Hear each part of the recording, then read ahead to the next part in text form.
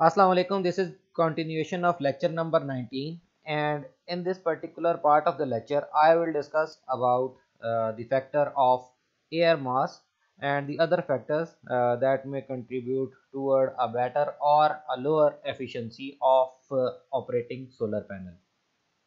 The air mass uh, coefficient uh, uh, particularly defines the direct optical path length through the earth atmosphere and it is expressed as a ratio relative to the path uh, length uh, uh, vertically up, uh, upwards uh, basically uh, right angle towards from the earth's surface. The air mass coefficient can be used to help characterize the solar spectrum after solar radiation has traveled through the atmosphere it is uh, represented by am and uh, there are uh, basically different uh, uh,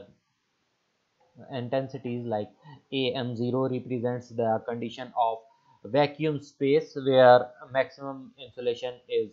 uh, present and 130 1350 watt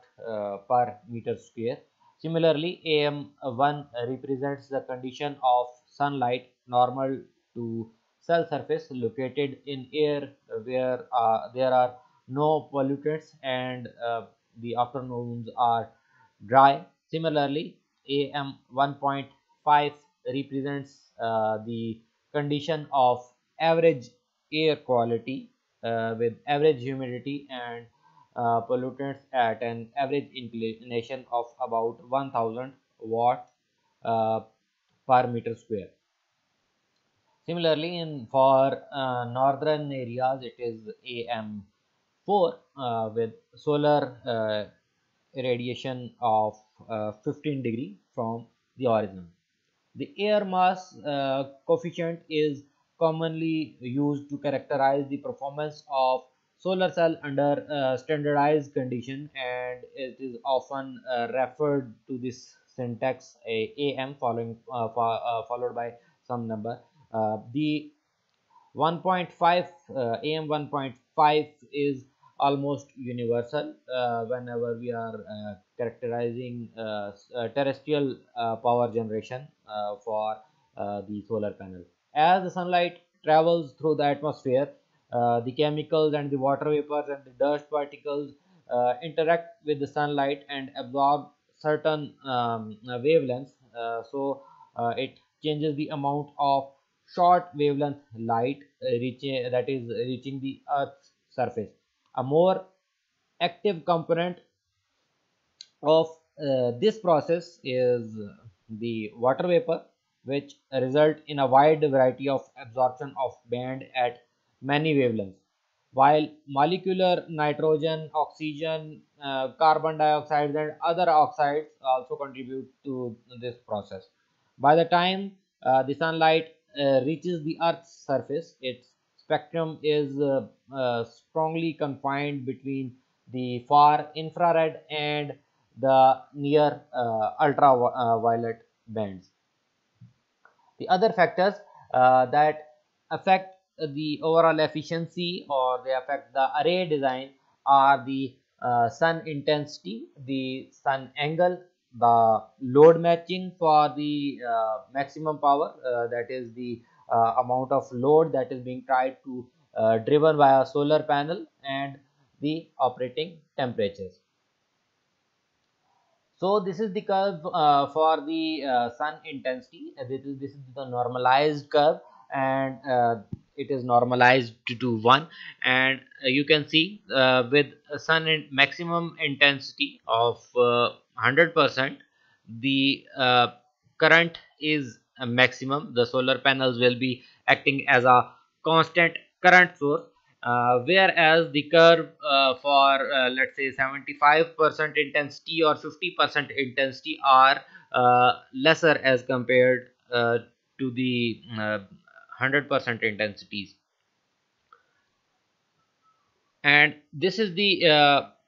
photo conversion efficiency curve uh, for the solar uh, radiation uh, watts per meter square of 0 to uh, 1000 watts per meter square and the curve is increasing with increase in solar radiation levels.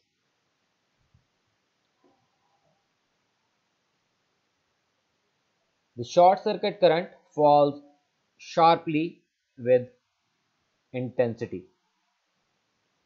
and VOC open circuit voltage uh, relatively is uh, less affected by the variation in solar intensity.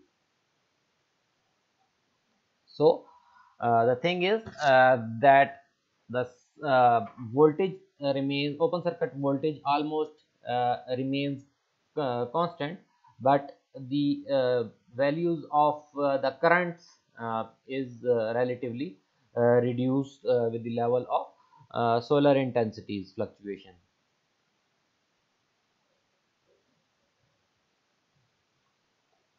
The next uh, point is the uh, sun angle and it is calculated by the Kelly cosine law. The output current according to uh, this uh, uh, law is given by I is equal to I naught multiplied by Kelly cosine uh, where I naught is the output current with normal sun and uh, theta is the inclination angle from uh, measured from uh, normal and uh, this uh, cosine is the uh, Kelly cosine. Uh, I will show you in the table uh, that what is the difference between the mathematical cosine and the Kelly cosine. The uh, these are the sun relative angle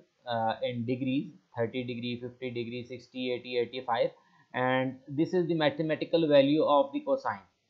For lower values it is the same as the mathematical cosine the Kelly cosine and mathematical cosine have relatively same values but as the inclination angle uh, is increasing it is going towards 90 degrees uh, the uh, values are fluctuating. For example for the value of uh, 80 degrees the mathematical cosine will give a value of 0.174 whereas uh, the Kelly cosine will give a value of uh, 1 uh, 0.100 similarly for 85 degrees uh, the mathematical cosine will give a value of 0.087 whereas the uh, Kelly cosine uh, will give a value of 0